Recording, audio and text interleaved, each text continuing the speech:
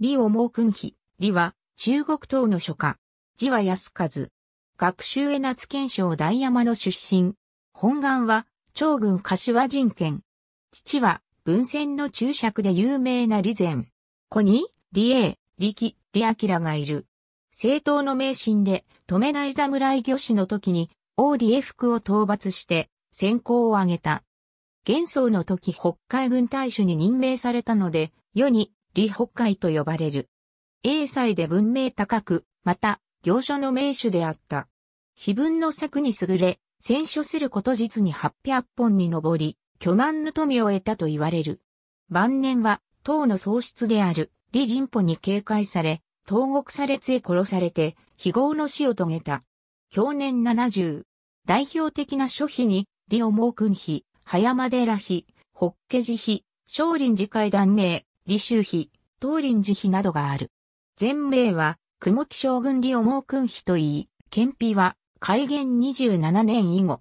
石踏みの高さは342センチメートル、幅は145センチメートル。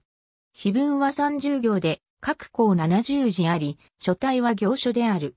先生小以南市カバの条件の橋量に現存するが、下半分は文字が新滅ぼしている。書風は痩せ強しで骨格鋭く、筆性もあり、結体も明確である。李王毛君は、唐の創出の出身で、北画の祖と言われる有名な画家であり、この李明道と共に、代理、勝利と称された。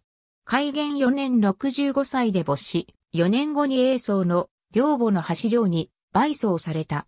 碑文に見える李王毛君のお祈り林歩の感銘から推量すると、憲碑は開元27年以後になり、筆者利用61歳以後の書となる。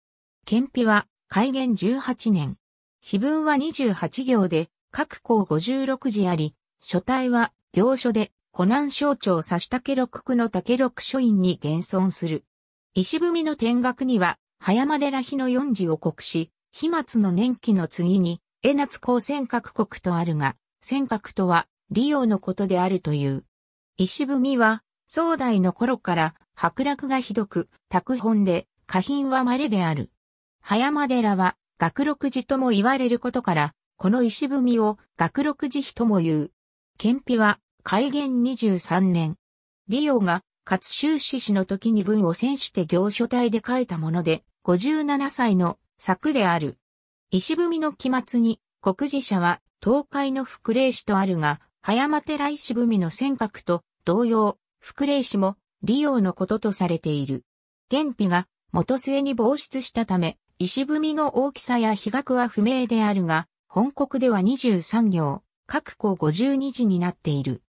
法華寺は、東進の安定の義広氏13年、釈具森翼が、新坊山の西北の地に創建したもので、石踏みはその曇り翼の聖徳碑である。